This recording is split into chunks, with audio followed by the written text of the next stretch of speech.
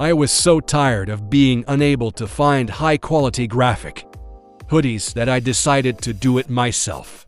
I found the distributor with the highest possible material quality and added some of my own designs while trying to keep the price as low as possible. It's 2024. McDonald's combos cost $16. I know the people are struggling. At Kinda Nice Hoodies, our goal is simply to create the best possible hoodies for the lowest possible price for our launch event. All hoodies are 25% off, and any purchase of any hoodie comes with the option to suggest the next animal and color to be featured in our collection. Stop compromising on price and quality.